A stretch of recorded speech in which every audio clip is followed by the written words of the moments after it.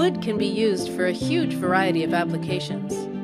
But there is still a lot to be discovered in modifying and engineering wood for new sustainable products.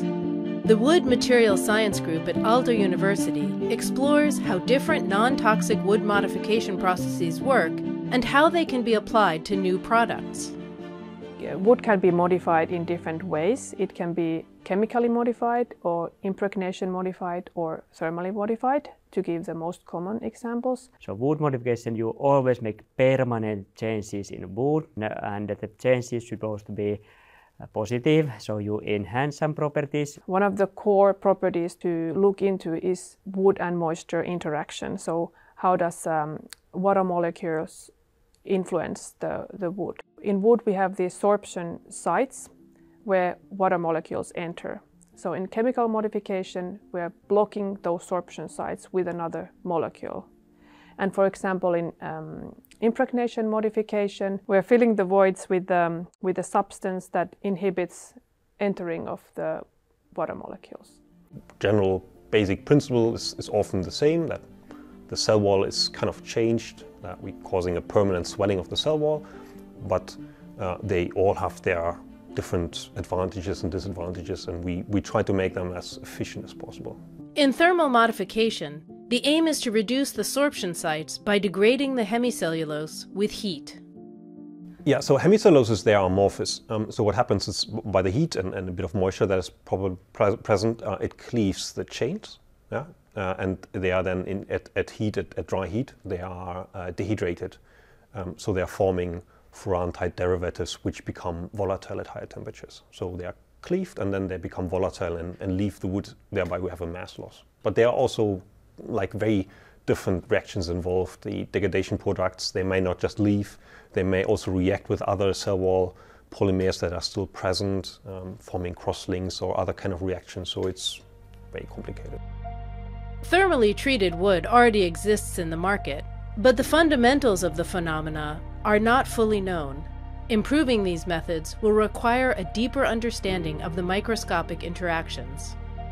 The role of this kind of fundamental science is paramount in developing new wood products and more sustainable treatments for wood. In a Business Finland funded applied research project, chemical, thermal, and mechanical wood modification are combined to develop and commercialize a novel design cladding product. The new embossing method, initially developed by researcher Hemmo Honkonen, is based on traditional knowledge among woodworkers. If you have a wooden table or something and you get the indent in it, you drop something on it or something, then you can repair it by, by putting some hot water on it, and that's going to make the, the fibers swell back up again, and the indent is, is going to disappear. So that phenomena is, is like, uh, that's common knowledge uh, among woodworkers. So that's basically where the idea came from. Could you use this phenomena to, to create uh, different kind of patterns instead of uh, flattening out indents? The project aims to make the process cost efficient even on an industrial scale. In addition to the visual effects, the method could offer other valuable functions in the future. Wooden deckings are usually quite slippery when they're wet, so, so maybe you could uh, create a, a, pattern that would increase the friction of, of such surfaces.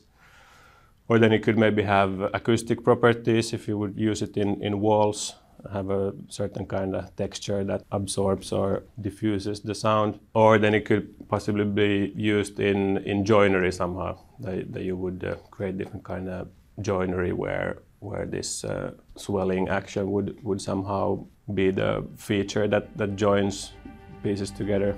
The research group aims to combine three methods in one process. Combine uh, silicate treatments and a fire retardant treatment, do one single treatment. So that this cladding product would have all these three different uh, properties when it comes out from our production line. So it would have these embossed patterns and weather and fireproofing uh, treatments. Apart from new products, sustainability can be improved by using all tree species to the highest possible value and longest carbon sink. Birch is a great example. Currently, it is mainly pulped. So it is stronger and stiffer material compared to spruce and pine. The density is higher. With this higher mechanical properties, the strength and stiffness, we end up uh, with certain engineered wood products that can outperform softwood. I think one of the uh, benefits of using birch into these engineered wood products would be that we take lower quality material that is not currently being used by plywood and upgrading it to longer life cycle application uh, in the sense that when it's used in structures then it can be used there and, and storing carbon there for 50 plus years. The development of new wood treatment methods and new wood products both share the common goal of extending the life cycle of wood products and the carbon stored in them, making the most of the valuable resources that forests provide.